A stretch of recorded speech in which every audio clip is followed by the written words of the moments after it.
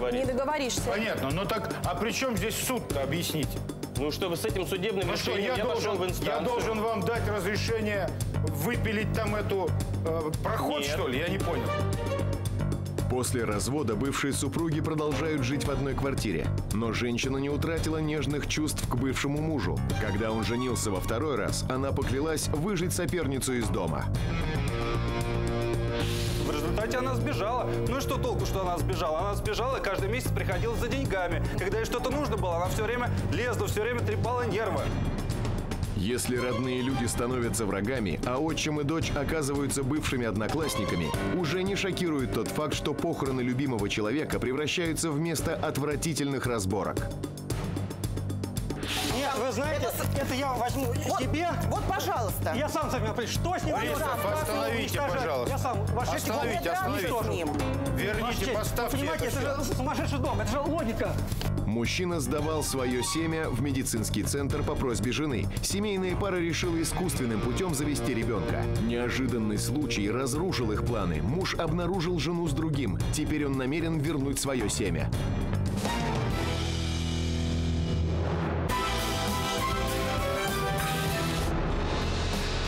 Истец Евгений Старичков предъявляет иск об определении порядка пользования жилым помещением. Ответчик Елена Старичкова с иском не согласна и считает лоджию своей территорией. Здравствуйте. Прошу садиться. Меня зовут Старичков Евгений Николаевич. Я подаю иск э, об определении порядком пользования жилым помещением. Э, конкретно лоджии. Лоджией. Лоджии, да. Смешно. Конкретно... э, Не правда ли смешно, да? Ну Ну, ладно. не так. Мелочно, я бы даже сказала. Подожди, дай мне ответить. А вы кто? Друг другу приходите? Мы бывшие, Бывшие супруги. супруги. Ну, Мы понятно. развелись два года назад. Принципиальный вопрос. Принципиального Вопрос Даже больше, амбиций, да? Принципиальный. Ну, Дело давайте, в том, давайте. что два года назад мы развелись с моей бывшей супругой Еленой. А. Я рада этому. Дело в том, что после развода мы поделили нашу принадлежащую нам двухкомнатную квартиру Так. пополам. То есть мне досталась большая комната, а ей досталась меньшая, 15 квадратных, мне 18, соответственно. Но дело в том, что ей с маленькой комнатой досталась и лоджия. Вот о чем сейчас я и прошу суд, чтобы э, разрешение мне в судебном порядке разделить лоджию на две части. Дело в том, что лоджия идет вдоль наших окон. То есть Так. из ее комнаты и из моей комнаты. И что теперь? Я хочу, чтобы каждое окно, каждая, каждая комната выходила на свой участок, на свой кусочек лоджии. То есть, То есть ему метра. еще большую комнату и лоджию нет. Ну это нормально вообще? Другими словами, другими словами, выйти на лоджию легально через дверь балконную может только ваша бывшая супруга. Да. Вы об этом А вы договорились можете только разводе. через окошко. Да. Ну и ходите через окно. А дело в том, что я бы с удовольствием ходил через окно, но мне надо перегородить. Зачем? Перегородить, чтобы это была моя часть. Дело в том, что недавно у меня появилась э, э, женщина.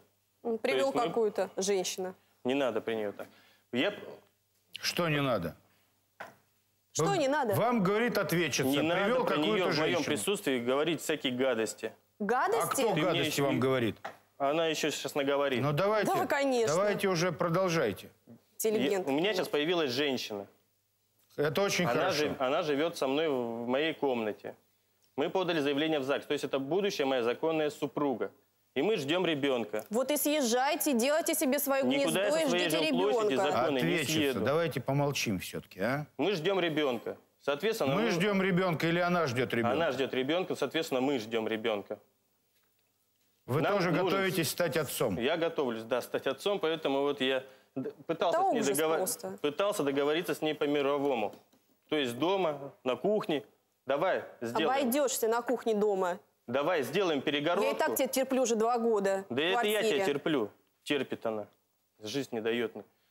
Дело в том, что если перегородим лоджию, я подам заявление, есть э, в соответствующей инстанции, и мне разрешат сделать проем. Тебе никто выход это на не лоджию. разрешит И сделать. У меня О чем ты появится говоришь? лоджия. То есть свежий воздух для ребенка, там, там же можно сушить и пеленки. Но Ну, переезжайте в другую комнату, договоритесь с ответчицей, и будет вам выход. Да, конечно, куда она Ваша даст, честь, что- ему лоджия никогда лоджия? не была нужна. Он еще при браке никогда Да, ничего с ней не не делал. Это единственное ваше требование. Да? Ну, пока единственное. То есть вам выделить, что нужно, что вы отсюда требуете? Я отсюда требую, чтобы в законном п- порядке мне разрешили перегородить лоджию. Потому что по мировому я с ней не могу Не договориться. договоришься. Понятно, но так, а при чем здесь суд-то, объясните? Ну, чтобы с этим судебным Ну что, решением я пошел должен, в я инстанцию. должен вам дать разрешение выпилить там эту э, проход, Нет. что ли? Я не понял. Это мне разрешит уже со- соответствующая Вы. Я хочу- обратились в эти инстанции? Да. Мне Вам, сказали, что вам это- разрешили? Нет, сказали, когда будет судебное решение, потому что сейчас Да глупо, принадлежит Она- честь. Это глупо значит, просто. в соответствии с гражданским законодательством ваши в- права защищаются судом.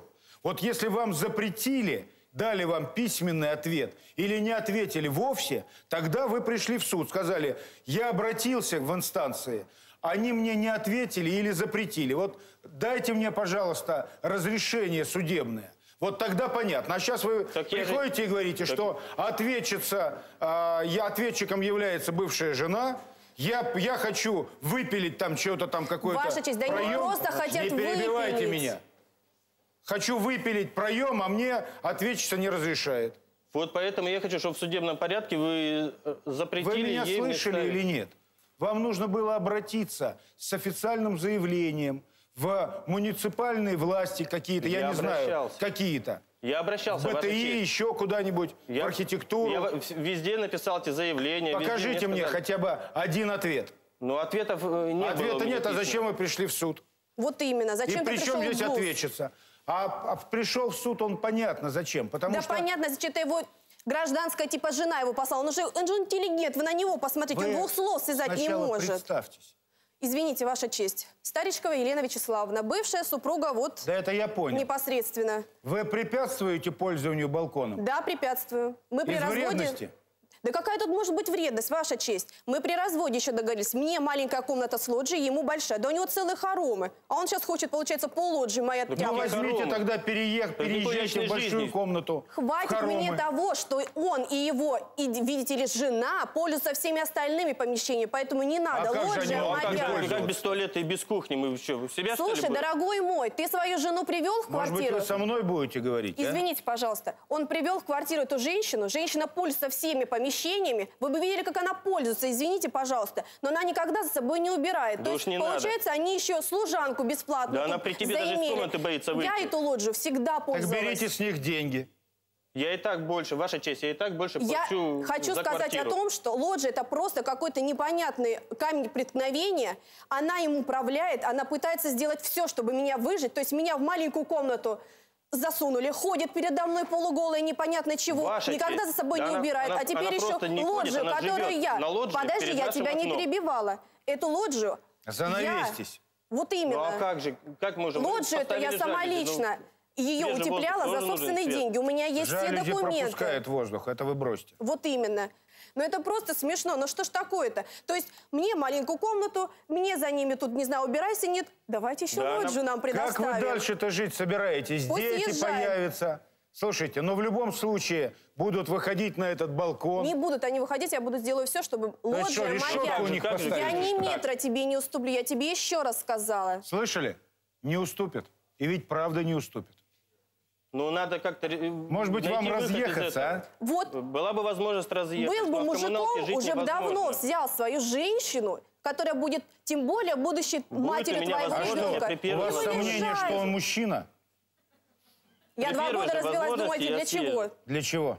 Потому что он будет, как был тюфяком, как была дура за ним Не замуж надо. вышла, так и остался тюфяком. За меня вышло, и тогда не был тюфяком. Сейчас тюфяком стал. Я развелась только потому, что То есть ты вы признаете, да?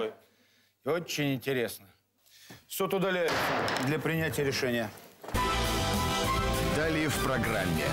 Кстати, она сбежала. Ну и что толку, что она сбежала? Она сбежала и каждый месяц приходила за деньгами. Когда ей что-то нужно было, она все время лезла, все время трепала нервы.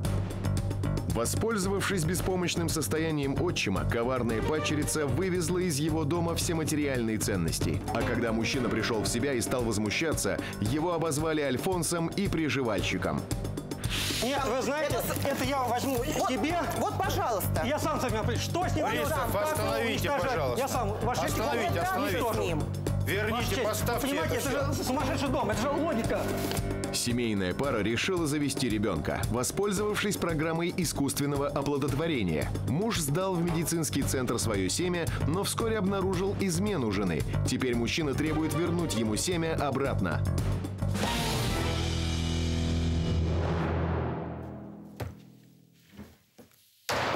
Оглашаю решение суда. Истец заявил требование о нечинении ему препятствий пользованием в пользовании балконом. Конструкции дома не предусмотрен выход из вашей комнаты, которую вы занимаете, в соответствии с соглашением со своей бывшей женой, на балкон. Документов каких-либо на перепланировку вы не представили в суд и не смогли представить даже проектов, которые обязаны были передать в органы, которые разрешают перепланировку в соответствии с жилищным кодексом. Поэтому у суда нет никаких оснований для удовлетворения ваших требований к ответчику о разрешении перепланировки.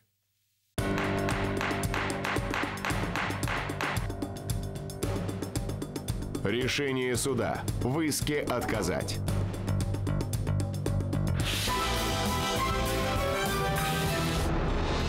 Истец Олег Шишкин предъявляет иск об истребовании имущества из чужого незаконного владения. Ответчик Светлана Тетерина с иском не согласна. Утверждает, что забрала принадлежавшие матери вещи с разрешения отчима.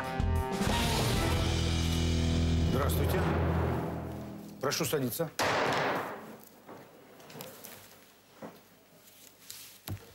Слушается дело об истребовании имущества. Истец. Почему вы хотите истребовать и на каких основаниях? И какое? Э, Какое имущество?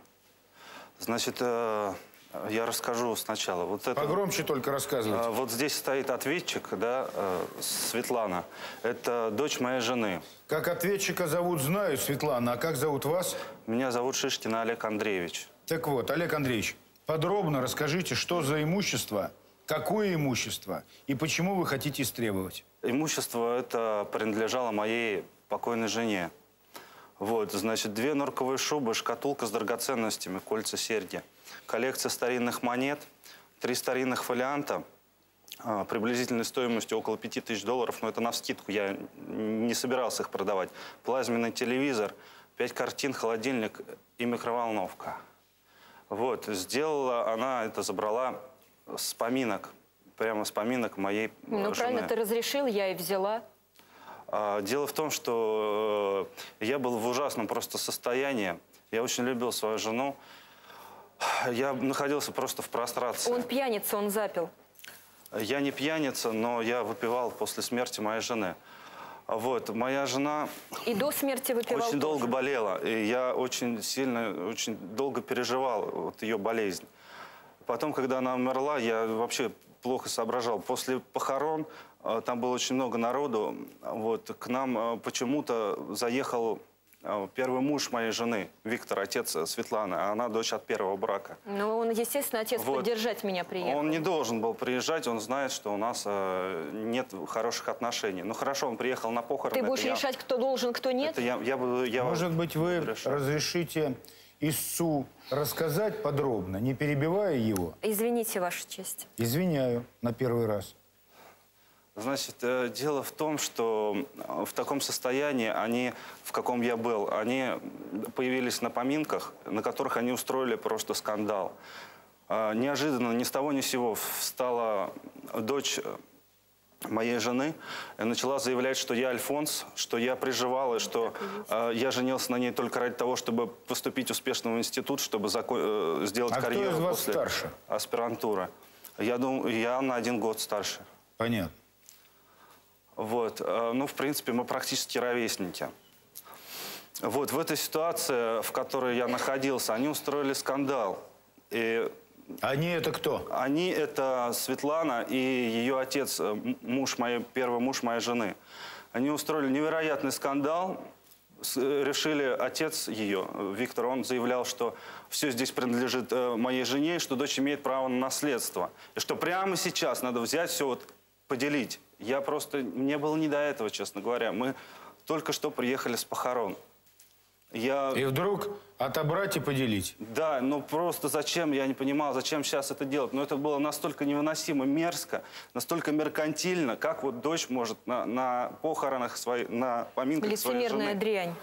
Вот, и я, у меня вырвалось, просто я сказал, я не хотел, я вообще не хотел видеть просто их уже не мог. Я не хотел, чтобы они продолжали этот скандал. У меня вырвалось, я сказал, забирайте, что хотите, мне ничего не нужно, хоть сейчас.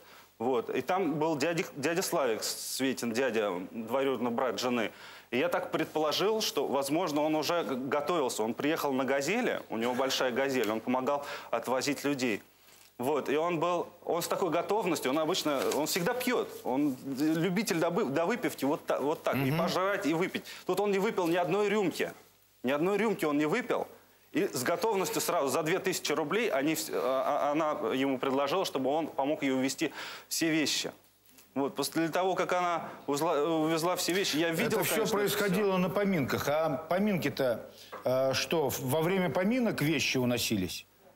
Прямо во, во время поминок. Прямо во время, вот только вот, ну, по- пох- после похорон приехали. Понятно. Вот, и, значит, я все видел это, как она выносила. Ну, как они все это выносили, но я был просто в оцепенении, я Ну, был потому что был я- пьяный Я, и не мог ничего сказать, просто. понимаете? Я, мне просто было не до этого. Я только вот недавно А похоронил все остальные были трезвые? любимого человека. Я не знаю, что почему-то на поминках, э, это, это же не свадьба, чтобы быть всеми пьяными. Но вот, э, пожалуйста, Олег, Альфонсо пьяница, Да, я выпивал, но мне просто было очень тяжело это переживать. Когда я опомнился, значит, прошло уже полгода, и когда я пришел к нотариусу ну, с документами по поводу наследства, оказалось, выяснилось, что у, мо- у моей жены было завещание, в котором она указала именно меня в качестве наследника. И все имущество а, она отписала мне. Вот, поэтому я уверен, что она не имела, что ответчик не имела права забирать имущество, и я требую, чтобы она вернула все назад. И я Прямо прошу... сейчас. Я хочу, чтобы вы... Также у меня есть свидетель, моя мать, которая может подтвердить, как это все Понятно. происходило. Значит, э, все документы, в том числе главный документ завещания, передайте суду. И список, да, и список всего того, что было у вас с поминок увезено ответчицей и ее родственниками. Ответчица Светлана Викторовна Тетерина, да? да.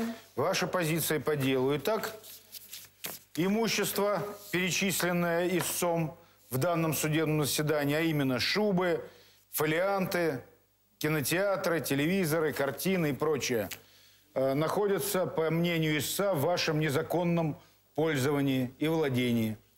Э, Ваша честь, я с иском категорически не согласна, потому что вот этот э, лицемерный лжец сам... Я по- попрошу вас Да, простите. выбирать выражение. Э, Девять лет назад, когда он э, познакомился с моей мамой, э, хочу заметить, что мы с Олегом учились в одной школе и потом поступили в один институт, где преподавала моя мама. Они там познакомились, он стал за ней ухаживать. Естественно, моя мама принимала эти ухаживания, они поженились. Ну, у него складывалась учеба, неважно. Да не можешь Моя ты этого мама знать, помогала ему. складывалась. Ты не училась Защити- да, э, Так. помогала ему защитить кандидатскую, а получить дипломы. Почему бы ей, И любимой женщине не помогать мне расписались, Он защищать? переехал, естественно, к ней домой. Они очень хорошо жили, э, естественно, за счет моей мамы, ездили по всему миру. А ты никуда не отдыхали. ездил, да, за счет своей Понятно. мамы? И А денег скажите, мамы не пожалуйста, до э, того, как был зарегистрирован брак, э, ваша мама была замужем? Да, за моим отцом. за отцом. И брак был расторгнут только для того, чтобы зарегистрировать брак с истцом, да? Нет, они уже э, развелись э, до этого, до Олега. Понятно. То есть тогда, когда Олег познакомился с вашей матерью, а, она была уже свободной женщиной. Да, она была свободна. А вы где жили? Я жила с мамой. Понятно. И Ну, после того, когда вышла- был зарегистрирован брак, то э, где жил истец? У своей мамы, естественно.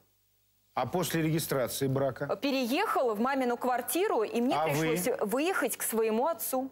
Тебя никто, Вам пришлось выехать, поэтому у вас, видимо, сложились неприязненные отношения. Правильно я понимаю вас? Э, У меня никакого отношения к коллегу То есть все было и 9 нет. лет после того, когда истец женился на вашей матери, вы не имели никаких отношений с ним? Правильно? Правильно. А с матерью? У нас хорошие с мамой были отношения. Как часто вы виделись?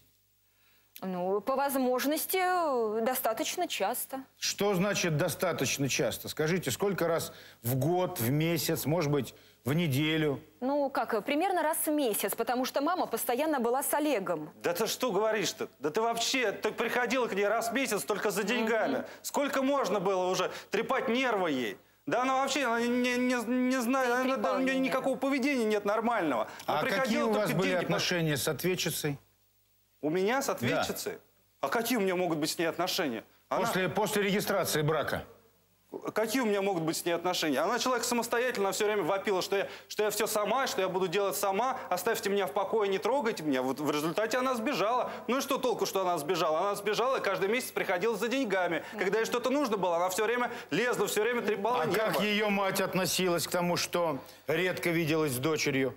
Ну как она может относиться? Она же любила э, свою дочь. Как, как ей она может к ней относиться? Она все терпела от нее, все, что можно. терпеть. Переживала? Да, она переживала. Ну, я, естественно, А почему же тогда, если жену. переживала, написала завещание на вас, а не на нее?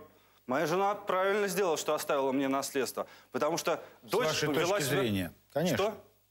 Продолжайте, продолжайте. Потому что дочь вела себя просто неподобающе. Она издевалась, она все время вставляла какие-то мелкие гадкие кол- колкости. Чё ты? Все время говорила, что э, я, мы, я ей не пара, что мы не подходим друг к другу. Доводила ее.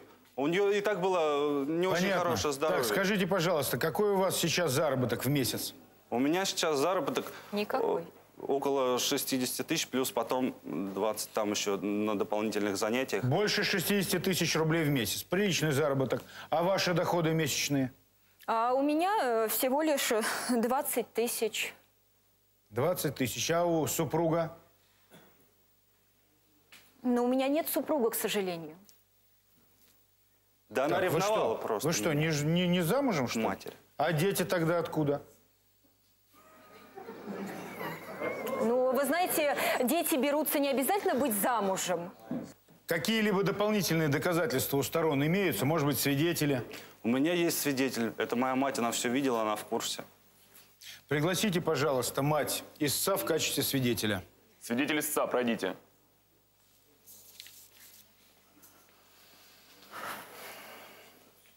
Здравствуйте. Я Шишкина Тамара Ну, Сергеевна. я так понимаю, что вы мать истца и ответчика вы тоже хорошо знаете, да? Отлично. Тамара Сергеевна, вы понимаете, почему вы в суде, да? Да. Ваш сын требует возврата имущества. Как вы относитесь к этому иску? Он справедливо требует. Как, а, э, я бы сначала начала э, про Давайте. всю семейную жизнь. Э, Дело в том, что действительно, когда сын 18 лет заявил, что он женится на женщине старше его, я была против. Но Алочка оказалась такой мудрой, э, умницей женщиной, э, причем она потрясающе выглядела, э, и как жизнь у них сложилась прекрасно. Она нас, мы поссорились с ним, она нас помирила. Так вот, отравляла жизнь Светочка.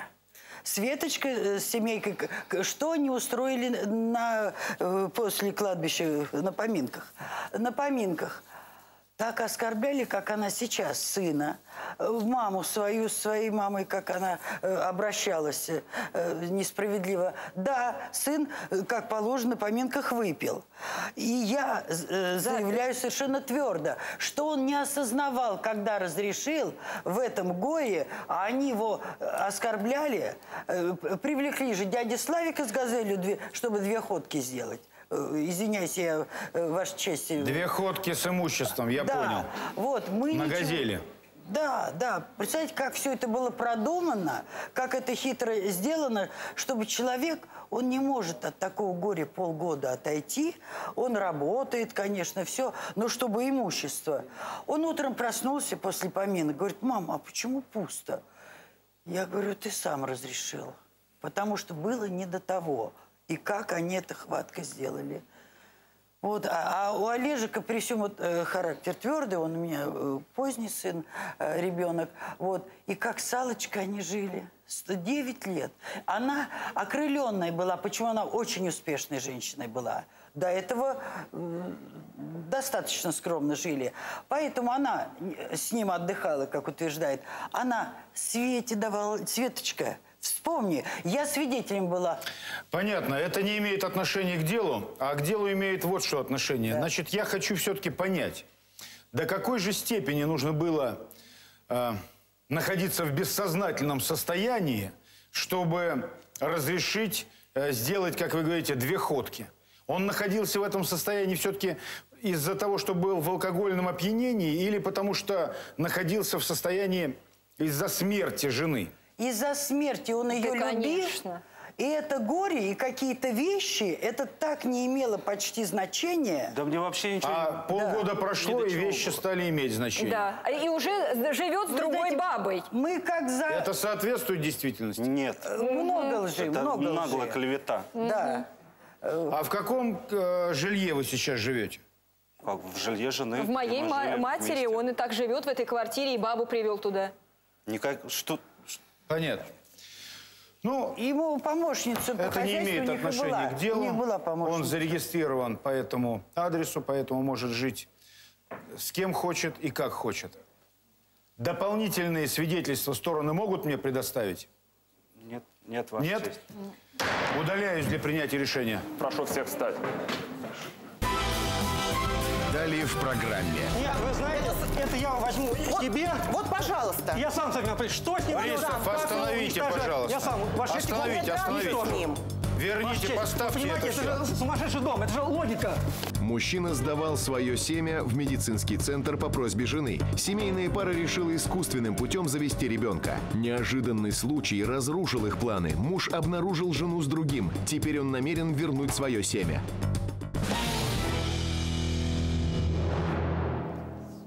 Оглашается решение суда. Судом установлено, что истец заявил требования об истребовании имущества из чужого незаконного владения. Истец основывает эти требования на том, что имеется завещание, по которому все имущество, перечисленное в этом списке, а именно шубы, коллекции, фолианты, кинотеатры, картины, холодильник и микроволновка находятся именно в вашем незаконном владении. Основываясь гражданским кодексом, мне ничего не остается сделать, как удовлетворить эти требования, потому что вы обманным путем забрали это имущество. Письменных никаких свидетельств о том, что это имущество было передано вам в дар на основании договора дарения, вы предоставить не смогли, поэтому вам придется все это имущество вернуть. Решение суда вам понятно? Удовлетворен ваш иск в полном объеме. Окончено слушание дела.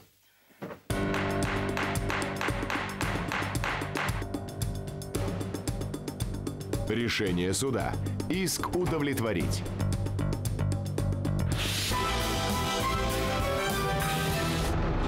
Истец Николай Истомин предъявляет иск о расторжении договора о медуслугах и о возврате принадлежащего ему биоматериала. Ответчик, директор медцентра, утверждает, что может отдать биоматериал только с согласия жены истца. Здравствуйте. Прошу садиться. Слушание дела открыто. Представьтесь Истомин сначала. Николай Александрович, у меня иск к медицинскому центру о расторжении договора и возвращении мне моего, моего биоматериала. Ваша честь, дело вот. Возвращение чего? Моего биоматериала. Понятно. Слушаю. Ваша честь, суть дела сводится вот к чему. Год назад вот, мы с женой обратились в данный медицинский центр. Я сдал свою семя, ну, свою сперму для, для программы искусственного оплодотворения, поскольку до этого у нас с женой как бы естественным путем детей не получалось. Вот у меня есть дог- договор. Взять, пожалуйста. Передайте мне. Это договор с медицинским центром. Понятно. Так, И тут я узнаю, что у моей жены любовник. Вот, что она живет не только со мной, но еще с одним мужчиной. Поэтому как бы... Вы это узнали доподлинно? Да, я это лично видел сам. Я их вместе застал. Вот, и поэтому я считаю, что как, сейчас иметь детей от этой женщины я не хочу, потому что нет смысла, не- неизвестно, чей это будет. Там, сын, дочь, меня или моего, там, любовника моей жены. А у нее все-таки есть желание расстаться-то с вами как с А это- для мужем? меня это не имеет никакого значения. Я с ней жить не буду. Вам известно от- о желании и намерениях жены вашей? Известно, Какое? что она хочет иметь от меня детей. Но это не факт, что это будет мой ребенок ваш, понимаете? Понятно. Так, ну продолжайте. Вот более того, знаете, тут такой случай был у, у нас. У меня у один мой знакомый был тоже та же самая ситуация буквально. Вот у них женой был ребенок, все было замечательно. Потом он узнает, что у нее был любовник. Соответственно, они развелись, и сейчас он платит алименты. Ну и зачем мне это надо? Я платить алименты непонятно за кого не хочу. Если у нее есть любовник, это будет ребенок от него. Пусть он и платит, а я не буду платить. Поэтому я Ну хочу, чтобы у хорошо. меня... А проблема-то в чем? Ну расто- расторгайте тогда договор Нет, Ваша честь, с я- э, я медицинским хочу- учреждением и все. Нет, в такой ситуации я уже не верю никому вообще. Я хочу лично убедиться, что это все уничтожено, что моей спермы больше нет, и ни одна женщина, ни моя жена, ни кто-либо еще больше этим не воспользуется. Всё. Объясните, почему вы не можете отдать материал ИСУ, и тогда проблемы никакой нет? И зачем вы сюда принесли? Я так понимаю, там и находится биоматериал. Да, Ваша честь. Я директор медицинского центра. Я доктор наук. В этом чемоданчике действительно находится биоматериал истца. Это мой биоматериал. И отдайте его мне. Я уж Принесла я его сюда, потому что я просто боюсь, что будет у нас криминальная ситуация. Уже началась какая-то уголовщина. Да, объясните. Год назад мы заключили договор с семьей Истоминых. Договор, как вы видите, Ваша честь, трехсторонний, то есть подписанный со стороны одной стороной исполнителя наш и заказчика две подписи. Господин Истомин и госпожа Истомина. В договоре прописано, извините, это страница номер два, пункт 3.2, Так, я, позвольте, зачитаю. конечно. Я копию У принесла. нас гласный суд. Да. Икулят сдается Истоминым НА, далее донор, по взаимному согласию с Истоминой ЕВ и используется в программе ЭКО для воспроизводства потомства супругов Истоминых. Да вы этот икует оставьте себе, а мне дайте семя. Это медицинское название. И что? Пункт 3, номер 3.4. Эякулят поступает в распоряжение медицинского центра и не может быть передан никому без согласия обоих супругов. То есть, когда господин Истомин ворвался ко мне в кабинет месяц назад, Я понял. С Значит, требованием- вы ссылаетесь на пункт 3.4, по которому не можете без согласия жены передать ему этот материал. Вы подписывали договор? Помните этот пункт 3.4? Да, Ваша честь, я подписал, но Так. там четко сказано, буквально в, последних там, строках написано, что этот договор может быть аннулирован любым лицом из этих подписавших в любое время. Вот что я, собственно, и хочу. Дело в том, Какие что сложности? вторая сторона, третья сторона, Да. подписавшая этот договор, то есть супруга господина Истомина, Так. она требует совершенно обратных действий. Она требует, чтобы ей подсадили эмбрион, который уже мы готовы, мы, мы год работаем. Мы сейчас наступила Я надеюсь, стадия, этого не сделали? когда мы готовы продолжать нашу работу. Она пришла ко мне в кабинет, вся в слезах, все объяснила, пыталась оби- э, давить на жалость. Я все понимаю. Она просит, и она имеет на это право, потому что она тоже такая же сторона этого Да на какую жалость она может в конце концов дать? Это же все-таки мое, а не ее. Вы Вы знаете, знаете, это скажите, ваше. пожалуйста, а кто производил оплату по этому Это договору? ваше, но... Оплату кто извините. производил? Оплату, это Да. были мои деньги. Да. Ваша честь, это были его А деньги. платил-то кто? Ну, Подпись стоит на платежных документах. Позвольте передать вам Да, передайте. платежный документ. И что вы скажете, Это кто подписал, объясняет. ответчик? Почему я не могу позволить себе отдать по желанию господина Истомина ему материал? Но почему? Объясните. Потому что его супруга оплатила, и подпись ее на приходном Ну, начинается. Ну, что же эти деньги? Это мои деньги. Я сам пахал, я заработал эти деньги. И я что, на каждый купил должен ставить свой личный документ. штампик, что ли? Что это мои деньги. Ну хорошо, давайте э, будем тогда решать, что делать вот с этим эякулятом. А, или, может быть, сначала допросим в качестве свидетеля вашу жену? Правильно. Нет, это, вы это знаете... суд решит. Нет, там. вы знаете, Это это, я возьму Вот, себе. вот, пожалуйста. Я сам с вами определю, что с ним Пристав, его остановите, пожалуйста. Я сам. Ваш честь, Остановите, остановите. Верните, поставьте это это все. же сумасшедший дом, это же логика. Встаньте на свое место. Пригласите свидетеля ответчика, жену истца. Вот видите, Ваша честь, она, у нее кто свидетель? Моя Свидетель жена. ответчика, То есть они пройдите. просто сговорились. То, то же самое, вот, что я предвидел. Год работы О, коту под хвост.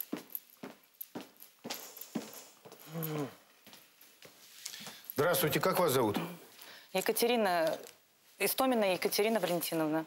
Екатерина Валентиновна, вы понимаете, почему вы в суде, да? Помогите мне, пожалуйста. Моя жизнь, моих детей будущих в ваших руках. Потому Да что я люблю его. Катя, я не хочу, чтобы детей никаких только от него, детей. ваша честь. Я не Любви знаю, что мне не делать. будет. Я Нет, уже неделю не сплю, Вася, не ем. Паша. Мне не хочется Ну, жить. Я не знаю, что мне делать. Екатерина Валентиновна, ваш муж принял это решение, потому что увидел, что вы не верны ему как жена, как нее женщина. любовник, я их сам Ну, видел. было так, нас было дома. так, но меня бес попутал. Но я люблю Какой бес? его. Мы Какого детей беса ждали звать? очень долгое время. Мы не могли иметь детей. Но я хочу только от него детей. Мне никто не нужен. Катя, и- я люблю его- его, и как его беса звать? Мы этот договор вместе составляли, вместе ходили, вместе старались, чтобы я родила ему детей. И что же мне теперь делать? Вы Сейчас я не хочу от тебя детей, как ты можешь Вы понять. поймите, что, ну что же, это все, значит, просто так, Вообще, все заключено, да, моя подпись вот стоит, я, и я хватит. платила деньги, и это я платила, вот, пожалуйста, посмотрите. Ты платила мои я деньги. хотела от него детей. Но это не важно, кто платил, это деньги общее совместное имущество, поэтому э, суть не в этом, а суть в том, что без согласия мужа воспользоваться этим материалом вы не сумеете. Поэтому вы, приходя сюда, должны были добиться бы какого-то все-таки расположения мужа. А здесь я вижу сейчас, что у вас э, конфликт продолжается. Ваша честь, понимаете, уже были заседания суда по поводу нашего с ней ну, как бы развода, скажем так. Вот. Но я вижу, вам дали три месяца на размышление и на Ну, примирение. Вы понимаете, сколько может всего за эти три месяца быть? Вот из этого маленького флакончика может Да из быть, этого знаете, маленького флакончика, как правило, не рождается один ребенок. Ну, это- как вот правило, именно. рождается двойня-тройня. Вот именно. А это известно. надо? ну что, ну... Нет, нет, Ваша честь, понимаете, все-таки как бы платить алименты, вот пусть это будут мои дети, пусть. Но после того, как мы уже вместе не живем, и мы живем, платить за эти, за одного, за двух, сколько там выйдет, я не знаю, детей, смысла нет никакого. Понятно. Другими словами, ваши аргументы такие, что лучше ничего не платить и не иметь детей, да? Пусть вымирать на- народ наш будет. Правильно Ну, я совсем понимаю? так. Удаляюсь для принятия решения.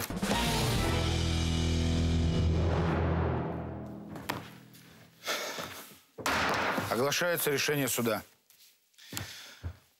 Соответствии с приказом Министерства здравоохранения Российской Федерации о применении вспомогательных репродуктивных технологий в терапии женского и мужского бесплодия, решения о применении спермы мужа или донора принимаются пациентами по совету врача. Таким образом, это решение должно быть принято двумя пациентами, как следует из нормативного акта.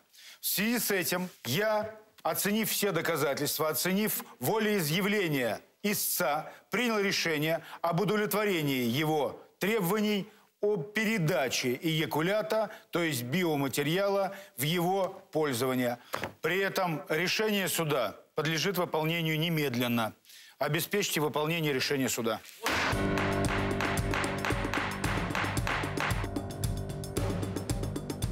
Решение суда. Иск удовлетворить.